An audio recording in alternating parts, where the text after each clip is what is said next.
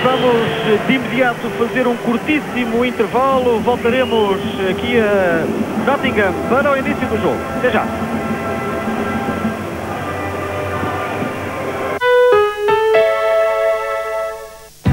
Sony é na Singer, com excelentes preços e nas melhores condições de pagamento. Singer, a sua melhor opção.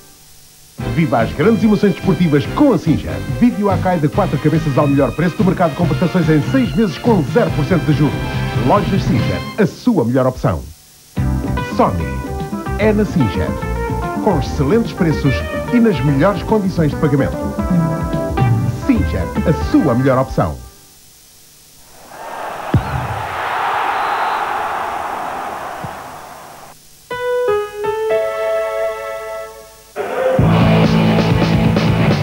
Euro 96, Croácia-Portugal.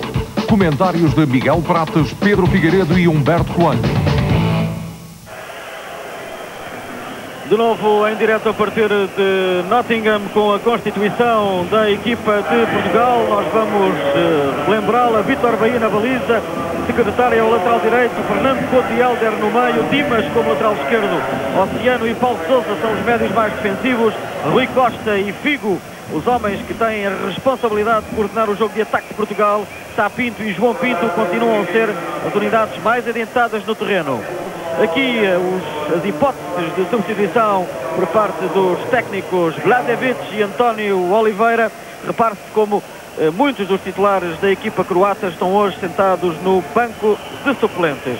O árbitro é o alemão Bern Heinemann, que aqui nos aparece nas imagens e agora sim, tudo apostos no City Ground para o início do Portugal-Croácia. De lembrar que à equipa portuguesa a vitória interessa para se colocar no primeiro lugar deste grupo D.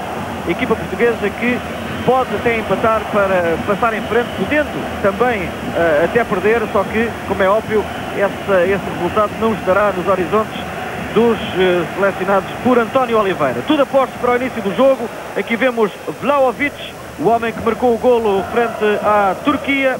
Hoje de novo a titular.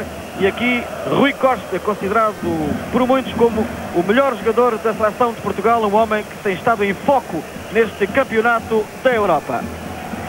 Vai sair Portugal, Sá Pinto e João Pinto junto à bola.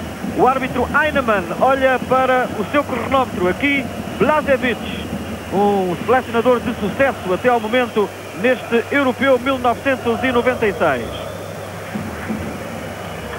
Heinemann aguarda para que tudo esteja em condições. E parece-me que agora sim irá apitar. Ele estará à espera precisamente das 16h30 para que apite para o início do jogo.